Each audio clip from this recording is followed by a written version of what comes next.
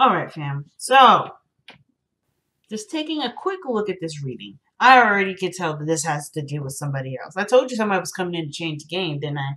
Now, for some of y'all, this may it just may be that it was talking referencing yourself. You guys are the kings, um, the king kind of cards in the in in the deck because you guys are fixed energy. So it could be that you guys were looking and uh, looking at how you feel and looking how to express that differently. It could be that you guys are looking to you know go after what you you know you, what you've been maybe wanting to do for a long time, as uh, somewhere in the arts, and perhaps you know where you were comfortable, where you had everything organized is a place of practicality. But this is calling on you to be more artistic and creative, to look into an area where your emotions are the primary source of where your fuel comes from.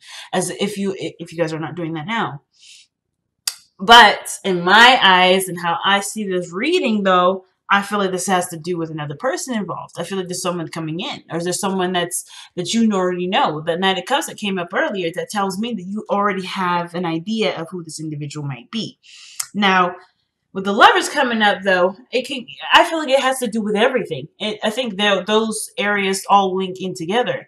And what, what do I mean by that? Well, how you feel and how you've expressed yourself or what areas that you have traveled or you're contemplating traveling now because you've already gotten to a place where you're good you're you're you're feeling pretty um pretty dynamite right now i feel like there is a new journey there's a new discovery and or something to discover and it has a lot to do with with your emotions and how you feel and where you allow yourself to feel or where you've noticed where you know where you get a lot of that information. It could be um, or where you get a lot of your fuel from. I say fuel as like inspiration or um, motivation to do something. Or perhaps even the the avenue in which you use to to be all that you are okay? I hope that you guys get you know you guys are staying with me. Um, I, I know uh, Aquarians, you guys never usually have a problem keeping up with me, but oh, I usually get to be trying to trail behind y'all, be like, what's going on? But yeah, I feel like there's a lot of this layers to this, and the Nine of Cups coming right underneath the deck is a quite a big red flag for me, and I feel like like I don't think it's necessarily wanting to be seen, but having that person that you you can love and adore purely, unconditionally, without any strings attached. The same kind of love that you express to the world. You want. I feel like either you guys want the same thing, or you guys um, are have you know are content with yourself, and therefore it's bringing someone in. So you're manifesting a relationship that has, gives the same amount and the same high frequency love as you're giving out. So the lovers is definitely a significant card to come up that will definitely scream um soulmates. Soulmates. Or not even just a soulmate, but somebody that is a um someone that's definitely here for for high vibrations love, okay? So the Hardy reading of the Nine of Pentacles, y'all rocking it. Y'all just definitely feeling yourself. Not in a bad way, but it's like you guys are really good. Like you're not, you don't need anything, you don't want anything, you're good. I kind of get the vibe that some of you guys may be even a little bored at this moment, not necessarily excited or looking to try to kind of uh, spice things up. But all in all, the self-confidence, how you see yourself, you've got a garden full of beautiful things that you can sustain and have for yourself. But the only thing that I feel like is missing is a new experience, right? It's a different experience. And um, I feel like that's something that maybe some of you guys may be wanting, or maybe started a craving or desiring. But then there's a part of you that's hesitant because this area in your life is either comfortable or it's familiar. It's your place of zen and peace. It's your powerhouse. And you've took a lot to, it took a lot, and I'm not lying to you, it took a lot to build this firehouse, a powerhouse rather. So with the magician in the past here, obviously you guys are feeling hella confident, but this is a significant card to me too because y'all are notorious for manifested things. So I feel like with the magician coming up, you had the tools to do what you wanted to do with this. Whatever you guys um, wielded together, uh, whatever whatever you guys were doing in this past air energy here, I feel like there was a lot of not only recognizing your power and understanding how these tools work for you, but how you want to use those tools for your life. So whatever you're using this for, I feel uh, whatever this was here in the past, I feel like you guys may have had an intention and manifested.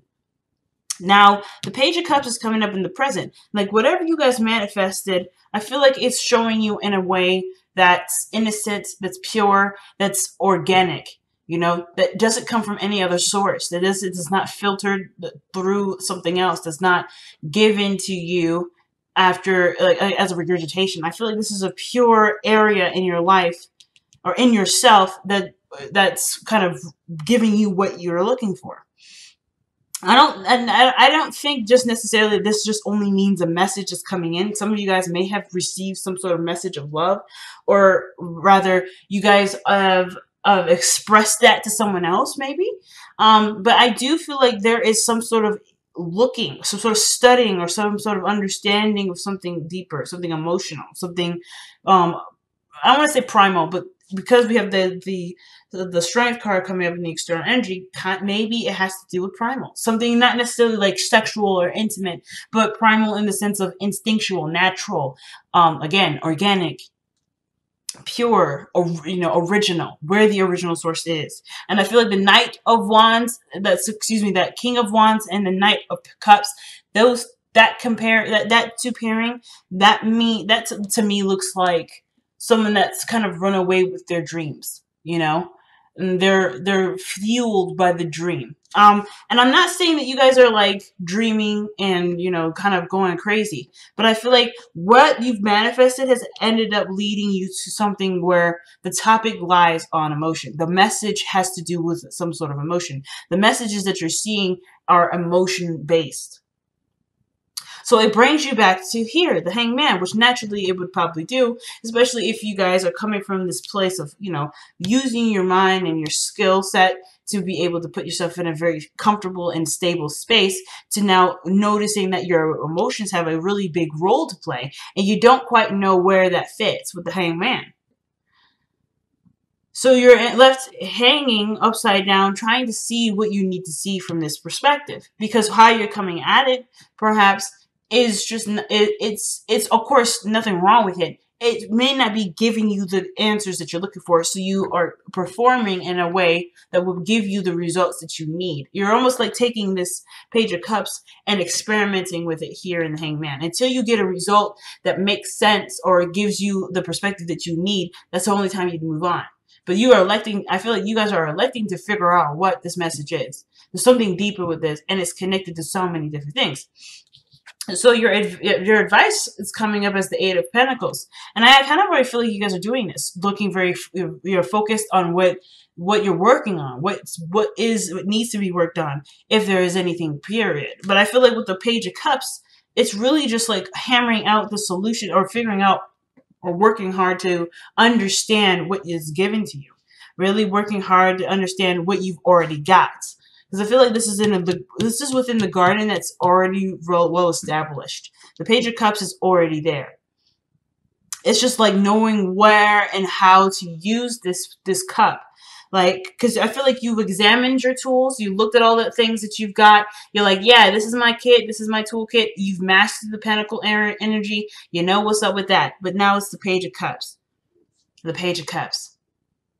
What this is the tool that you're picking up and thinking, huh? What is the extent of this? What is the the magnitude of this? And that's what you're going to be working hard to understand, I feel like. Understand, to utilize, to wield to the best of your ability, to completely and utterly understand it, to master that. So I feel like with the hangman coming up in, oh, excuse me, the hangman, the strength card coming up in your external energy with the page of cups is that there may be a uh, don't, I don't want to say conflict because then it's not this is the strength card is not a conflicting energy necessarily. I mean at least I don't necessarily feel that it's necessarily conflicting. I mean there is some things that she's fighting I feel because of course either she knows going in there's nothing that the lion will do to her if she remains calm or she's already terrified but she's willing to take the risk and apply what she knows to but you know to smooth the situation over and I feel like either way, looking at the emotion part is requires bravery and it requires bravery, which you've already got, but a sense of control that you have. Like you can control the depth of of the emotion. You can control the um you know how you feel about it, why you feel that way. And I feel like the strength card is stroking the line because it's such a vital element in your life. It's such a vital element that will need patience wielding which you're willing to give. I mean, if you're willing to put yourself uh, put yourself through all of this just to get to the Knight of Pentacles, there's no way in hell you don't have enough patience for this. So of course, it's a no brainer for y'all. You're like, yeah, duh. Like, been there, done that. We got that checked. But I feel like too, with strength coming up, this is a part of either part of yourself that you either have been holding back and you kind of weren't sure what to do with it and now you are ready to look at what this means or why you may have had to hold those hold that part of you back why you've had to look at yourself and say and see like and see what this truly means or this could just indicate this part of yourself was maybe either dormant for a while or maybe you put on hold and now you have the time and patience to understand this to the magnitude that it is. Because maybe there's no time like the present. Maybe the situations are still crazy and still busy and still overwhelming in some areas, but you know that you can take this on now because it's there's something that's coming up that will ultimately you know ultimately lead you to a different perspective and allow you to use this page of cups to the extent of your ability. So the Two of Swords coming up in the Hopes and Fears, I don't really feel like you guys are really concerned about getting the message right now or getting the message later. You know it'll come to you regardless. And I feel like with the Two of Swords here, it's not necessarily about, oh, you're scared about making the decision. You're worried about a decision being made. No, I kind of feel like with the Two of Cups, it's like, you know that it'll come when it comes. If you don't see it, if you do see it, it'll come when it comes. And it's not necessarily like, a, oh, snap, I got to get this going on now. It's just like whatever this hangman energy is, you understand it's going to take some time to understand it, and you're open to receiving it. Um, I feel like with the hopes and fears is made. Like, I feel like some of you guys may be like it's on the tip of your tongue or it's right in front of you, and you just cannot see it for the life of you. But that doesn't mean that you are not understanding the situation to the point where you're having to you know, that you're making um, a huge circle around a lesson that you could just get straight to the point to. Whatever this process is, it's meant, you, I feel like you guys have directed yourself to go through a sort of passage to truly and thoroughly understand what the Page of Cups really means. And I feel like, again, I know it sounds crazy, but this message here is seriously and highly encrypted, and you know it's going to take some time to understand the code. You know it. So I don't think you're really concerned with the Two of Swords. I feel like this is more of like a like a, a, um just something that you're preempting yourself to, if that makes sense. Let me see. Why do you have the Two of Swords in your hopes and fears?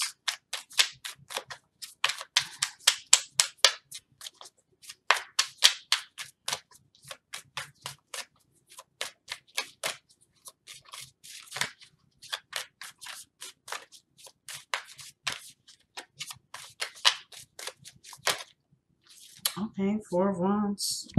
And the Knight of Pentacles. Yeah,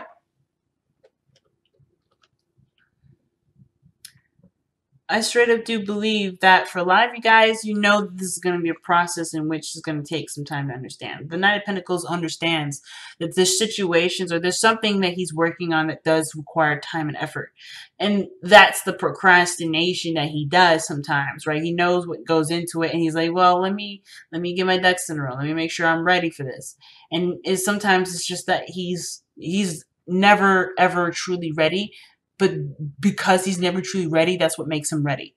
And the Four of Wands shows that there's a platform here that he is already established and he's already set, settled and stabilized.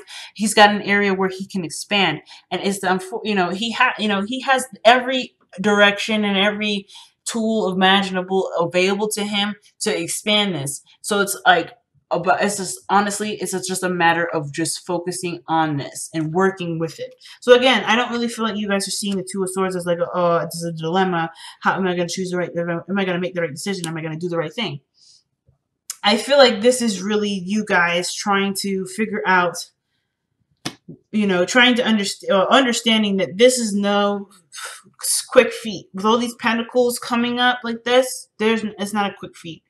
Um, now, with your outcome showing the the the moon, I do feel like there is something that does get overwhelming and a little confusing. But this is in this beautiful confusingness that will ultimately bring you back or bring you to an understanding. It's this moment here, I feel like, is what's going to kind of hit the epiphany. It's when the moon is full. So um, let me see. Why is the moon coming up? For, okay, yeah, the tower. Again, it's a breakthrough. It's something really, really big.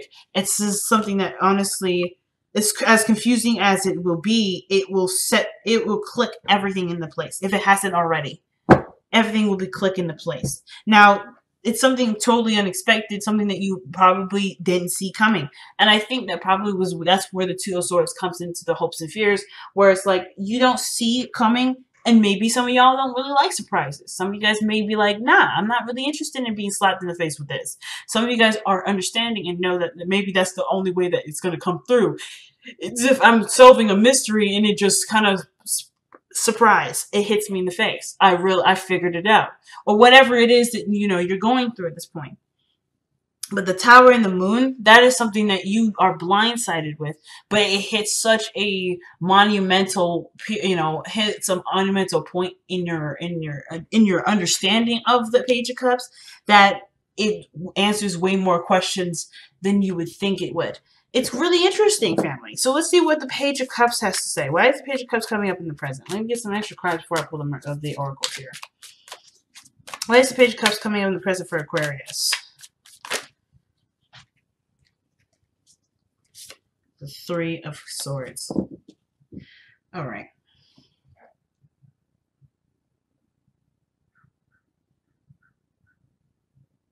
So, with the Three of Swords coming up with the Page of Cups,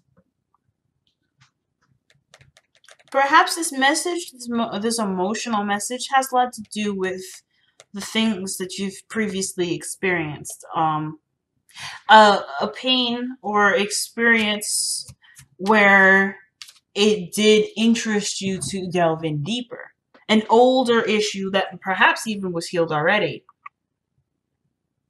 You're coming back at it from a, to, you know for a second time to truly understand the makings or the the capacity of your emotional power.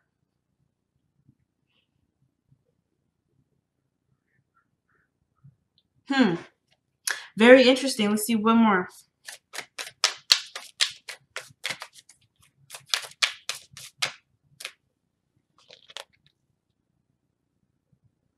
Oh wow, the King of Wands is coming back up again this is is the, I don't know if this means necessarily that this is about a person. The King of Wands could be a Leo, Aries, Sagittarius, and we do have Leo energy here with the strength coming up in the external energy. But this does have to do perhaps with how you feel about yourself, your self esteem, who you know about who you are, your capabilities of being creative, perhaps where your uh, creativity stems from. Um, maybe somebody in your past, I don't know, and this is just an idea but maybe someone in your past has said something to you in the effect of not being able to be creative, or perhaps that you are very creative, but you don't truly believe that because there's a part of you that may not be accepting of this page of cups of necessarily? Like maybe there's a something that's crying out to you emotionally right? And you're not quite hearing it and everything around you is expressing to you hey you should do this or perhaps hey you're not good at this but you feel something different you feel either you feel that is right or you feel that is different? And there's something that's bringing you back to something emotional. There's always something coming back emotionally. Now the king of wands doesn't have to be anybody significant in the sense of romantic. The soulmate can be someone that's your friend that helps create that's create that's um clicking everything into place. is kind of pushing this process forward. It doesn't have to be a romantic partnership, but I do feel like some some of this may actually be attached to something you're romantically you know connected to someone that you have a lot of emotions towards someone that you feel great um, passion for perhaps or maybe this person feels great passion towards you. However, like whatever artistic thing is attached to it, love was attached to that too. So it's like whatever your love life was, or whatever, however your love life is, is conducted, it also is woven in with your creativity.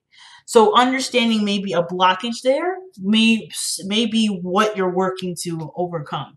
Something that, you know, to clear the air, to heal, to to express some sort of creative emotion.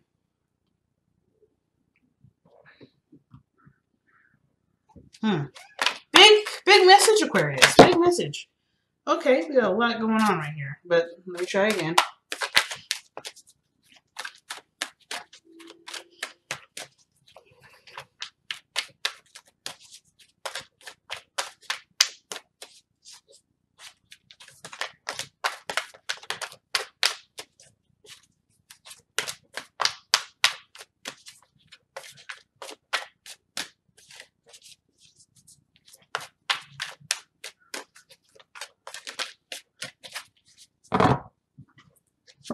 Oh, wow. Orphaned. Okay. Now, that's pretty interesting card to get right here. Because it can kind of feel like you may or may not belong somewhere. Or maybe you're in a position where people may feel like, or maybe they uh, that you feel isolated. Not because anyone's done anything to you, but because your energy is no longer in the frequency that everyone else is rocking. So, that would mean that you would feel like you're out an outsider or out of place. Like you're ele- either you're higher elevated than everyone else, or the, the people that you're with, they don't quite match your energy. They don't quite match who you are. It doesn't mean that where they are is bad or they're beneath you or anything like that. It's just that they're not driving right or they're just they, or they're not representing a, a part of you that they're not representing a part of you that you're resonating with in, in this time period. So I feel like with with Orphan coming up, there is a lot of things that are not necessarily in place. And it may not have to do with anybody around you either. It could be that your own environment is no longer making you feel like you belong. Maybe you are feeling isolated in your own utopia. Either way, I feel like you're you're striving to chase after a new calling, a new emotional calling, a new place of belonging which may have to do with being in, in, with groups or surrounding yourself with people who truly care and match your energy, match your loving energy, like I was saying here. You're trying to find a new space that truly represents who you are and can give you back what you've put in. You can always give of yourself to yourself, but I feel like there's an experience that either some of you guys want to experience or the Page of Cups. There is a part of you that's saying, I'm ready for something different and something new. And it is going to require me to look at why I'm feeling this way or what emotional depth, what emotional journey I need to go through. And you guys have from the Messenger Oracle is Trust in Magic. These cards are super shiny. You can see my tripod. but trust in magic, family. And what does that mean? It's really trusting your intuition. When it, in all honesty, magic is nothing more than that mysterious, mysterious part of the subconscious. The subconscious is connected with your emotions, right? So, in my eyes, when it says trust in magic, it truly means trust in yourself. Trust in that you have set yourself a path to understand something that you may not have understood before. Not because you thought you were dumb or anything degrading like that, but because you are wanting to understand it to its capacity. So trust in magic is going along with the flow of what you've set course to. And it's pretty doggone big from the looks of it.